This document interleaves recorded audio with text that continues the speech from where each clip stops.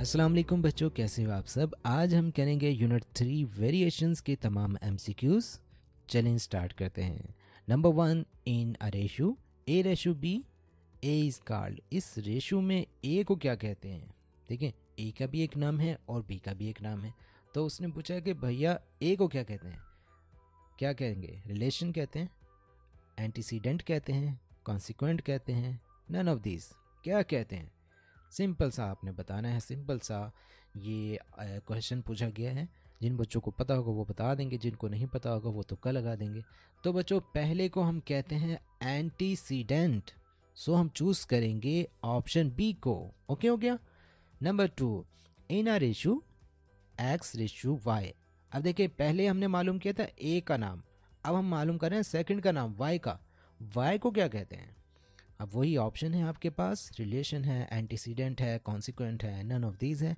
तो वाई को क्या कहेंगे? वाई को कहेंगे कॉन्सिक्वेंट सी ऑप्शन हमारा राइट है। तो हम चूज़ करेंगे ऑप्शन सी को। Number three in a proportion a ratio b proportion c ratio d a and d are called देखें, ये प्रोपोर्शन है। रेशियो तो दो वैल्यूज़ के दरमियान हो गई थी, अब ये चार वैल्यूज़ आ गई, अब यहाँ पर प्रोपोर्शन हो गई। ठीक है? एक वैल्यू है ए एक वैल्यू है डी इन दोनों को हम क्या कहेंगे? थोड़ा सा समझ लें इनको। ये देखें, ये जो दो वैल्यूज़ होती है ना, बाहर बाहर वाली, ठीक है? इनका एक नाम है और ये जो दो वैल्यूज़ अंदर वाली हैं, दरमियान वाली हैं, इनका अलग नाम है। एग्जामिनर ने हमसे पूछना है कि इन दो वैल्यूज़ को आप क्या कहते हैं? इनका क्या नाम है? तो बच्चों, ये देखें, ये एक्सट्रीम पोजीशन पर है। एक इस तरफ़ है? एक इस तरफ़ है? एक्सट्रीम पोजीशन पे ना तो इसका जो राइट right आंसर होगा, वो होगा एक्सट्रीम्स ऑप्शन बी सो हम चूज़ करेंगे ऑप्शन बी को. Number four in a proportion a ratio b proportion c ratio d b and c are called पहले देखिए, इन वैल्यूज़ का मालूम किया उसने? ए और डी का? अब मालूम कर रहा है भाई बी और सी को क्या कहते हैं? चलो ए और डी का पता लग गया एक्सट्रीम्स हैं तो बी और सी को क्या कहते हैं? मीन्स कहते हैं एक्सट्रीम्स कहते हैं फोर्थ प्रोपोर्शनल कहते हैं नन ऑफ़ दीज क्या कहेंगे बच्चों? इनको हम कहते हैं मीन ये दरमियान में है, इनको हम कहेंगे मीन ऑप्शन ए हमारा राइट आंसर है सो हम चूज़ करेंगे ऑप्शन ए को. Number five in continued proportion a ratio b is equal to b ratio c a c is equal to b square b is said to be dash proportional between a and c क्या कहेंगे बच्चों? B को हम क्या कहेंगे? Third proportional कहेंगे fourth proportional कहेंगे means proportional कहेंगे, या फिर नन ऑफ़ दीज इसमें से कोई आंसर नहीं है। बताएँ बच्चों, सोचें और ठीक करें। तो बच्चों, आपने पता नहीं कौन सा आंसर सोचा होगा अपने दिमाग में? देखें, ये देखो, दोनों क्या है? मीन में है। ये एक्सट्रीम में है और ये मीन में है। तो ये b is said to be mean proportional between a and c ठीक है? तो ऑप्शन यहाँ पर होगा हमारा सही सी सो हम चूज़ करते हैं ऑप्शन सी को। Number six in continued proportion a ratio b is equal to b ratio c c is said to be dash proportional to a and b अब पूछ लिया उसने बच्चों सी को क्या कहोगे भाई? C said to be third fourth mean क्या कहेंगे आप तो यहाँ देखें, दो तो एक तरह की है ना? वन हो गई, ये टू हो गई, और ये थर्ड हो गई। तो हम यहाँ पर कहेंगे third proportional to a and b third कहाँ पर है? ए ऑप्शन है तो हम चूज़ करते हैं बच्चों ए ऑप्शन को।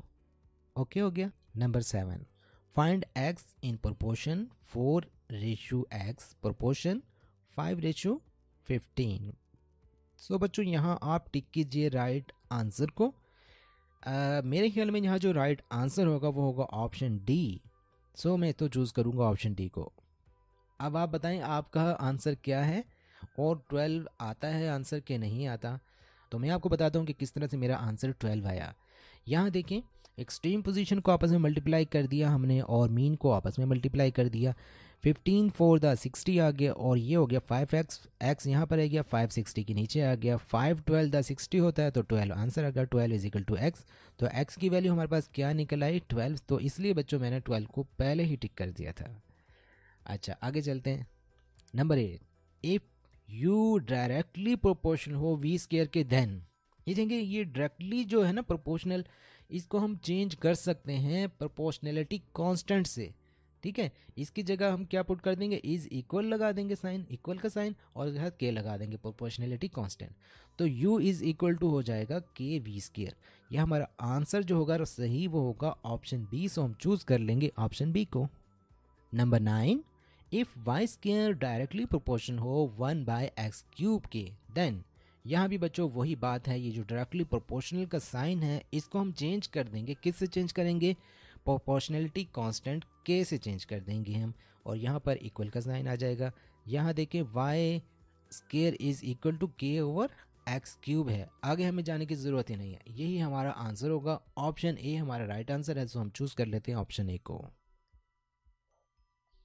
Number ten if u over v is equal to हो वी ओवर डब्ल्यू और इक्वल हो के के देन चार ऑप्शन है, इसमें से आपने एक राइट आंसर को चूज़ करना है। यहाँ देखिए बच्चों, ये वैल्यू भी के के इक्वल है और ये वैल्यू भी के के इक्वल है। चलें इसको सॉल्व करते हैं, यहाँ आ जाएँ। u over v is equal to k v over W is equal to के हो गया, ठीक हो गया? w यहाँ पर चला जाएगा तो v की वैल्यू क्या बन जाएगी? v is equal to W के के अब यहाँ पर क्या किया हमने? वी को यहाँ पर लेके के को नीचे ले आए। यहाँ वी की वैल्यू ये आ गई हमारे पास, u ओवर के वी की वैल्यू ये जो थी ना डब्ल्यू के इसको हम यहाँ पुट कर देंगे। डब्ल्यू के आ गया हमारे पास। क्लियर होगी बात? अब ये जो आपके पास के है के को हम यहाँ ले जाएँगे स्केयर हो जाएगा और यू की वैल्यू हमें मालूम हो जाएगी। यू की वैल्यू देखें ऑप्शन में हमने यू की वैल्यू मालूम करनी है ना तो यहाँ हमें यू की वैल्यू आ जाएगी डब्ल्यू के स्केयर के ठीक है? अब ये कहाँ पर है? W K square W K square option A में है। ऑप्शन ए को हम सिलेक्ट कर लेते हैं। ये लें जी। चलें आगे चलते हैं। Number eleven, the third proportional of x square and y square is, third proportional आपने मालूम करना है x square and y square का। आ जाए यहाँ पे इसको सॉल्व करते हैं। X square ratio y square proportion y square and ratio z हो गया। ठीक हो गया? एक्सट्रीम को मल्टीप्लाई किया, एक्स स्केयर जेड हो गया और मीन को मल्टीप्लाई किया, वाई स्केयर हो गया। अब y square over x square आ जाएगा, z is equal to y square over x square आ जाएगा आपके पास। तो यहाँ पर देखें, ये कहाँ पर है? ये देखें option c I think right है। सो ऑप्शन सी को हम चूज़ कर लेते हैं। Number twelve the fourth proportional W of X ratio Y proportion V ratio W is इसको भी बच्चों हम सॉल्व कर लेते हैं। यहाँ आ जाएँ एक्सट्रीम को मल्टीप्लाई करेंगे एक्स डब्ल्यू और मीन को मल्टीप्लाई करेंगे वाई वी हो जाएगा आपके पास। ठीक है? अब यहाँ आपने डब्ल्यू फाइंड आउट करना है ना तो x को हम नीचे ले जाएँगे। वाई वी ओवर एक्स आ जाएगा। वाई वी ओवर एक्स आपके पास कहाँ है? यहाँ पर है ऑप्शन बी में। तो हम चूज़ कर लेते हैं ऑप्शन बी को। कितना आसान है ना बच्चों? Number thirteen if A ratio B is equal to X ratio Y then alternative property is क्या होगी? ऑप्शन ए सही होगा बी सही होगा सी सही होगा, या फिर डी सही होगा। तो हम पहले इस प्रॉपर्टी को देख लेते हैं। A ratio B is equal to X ratio Y अगर हो तो क्या होगा बच्चों? हम मीन की पोजीशन चेंज कर देंगे। एक्स को बी की जगह पर ले जाएँगे और बी को एक्स की जगह पर ले जाएँगे। और फिर हम क्या करेंगे? ए ओवर एक्स कर देंगे और बी ओवर वाई कर देंगे। तो यहाँ पर हमारा आंसर क्या होगा? यहाँ पर आई थिंक हमारा आंसर होना चाहिए ऑप्शन ए बिल्कुल। और ऑप्शन ए को हम सेलेक्ट कर लेंगे। Number fourteen if A ratio B is equal to X ratio Y then invertendo property is नाम कितने अजीब अजीब से रखे हैं साइंटिस्ट ने। चलें बच्चों, इसको थोड़ा सा सॉल्व करते हैं। A ratio B is equal to X ratio Y यहाँ हम क्या करेंगे? इस प्रॉपर्टी में यहाँ की पोजीशन को चेंज कर देंगे और यहाँ की पोजीशन को आपस में चेंज कर देंगे। ए की जगह पर बी और बी की जगह पर ए आ गया, यहाँ पर एक्स की जगह पर वाई और वाई की जगह पर एक्स आ गया। अब हम क्या करेंगे? इसको डिवाइड कर देंगे। बी बाई ए हो जाएगा वाई बाई एक्स हो जाएगा। तो ये कहाँ पर है? ये है ऑप्शन डी में। सो हम चूज़ करते हैं ऑप्शन डी को। Number fifteen if A by B is equal to C by D then componendo property is कौन सा ऑप्शन ठीक होगा? ए बी सी या फिर डी इस प्रॉपर्टी में क्या होता है बच्चों? A over A plus B लिख देते हैं और यहाँ पर C over C plus D लिख देते हैं। ये देखें, यहाँ पर लिखा हुआ है तो हमारा ए ऑप्शन बिल्कुल ठीक होगा तो हम चूज़ करते हैं ऑप्शन ए को।